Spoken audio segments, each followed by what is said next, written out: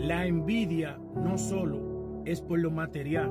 Hay personas que sienten celo por tu personalidad, por tu forma de vivir la vida, porque tú andas todos los días sonriendo, porque tú disfrutas lo poco que tienes, porque tú disfrutas del aire, de la brisa, siempre andas feliz, contento, alegre, con deseo de superarte, con muchos planes gigantes.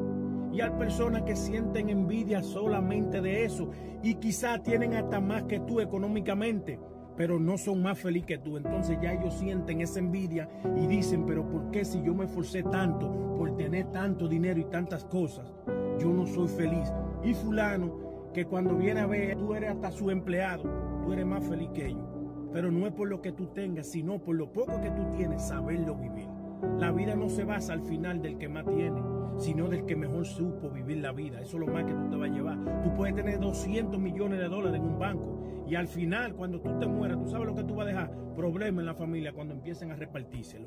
Tú no te llevaste nada. Entonces la felicidad al final, al final del camino, la felicidad es lo que tú disfrutaste en la vida. ¿Entiendes? No di que lo que tú dejaste, ni que te dejé que usted no disfrutó nada si, usted no vivió de la vida.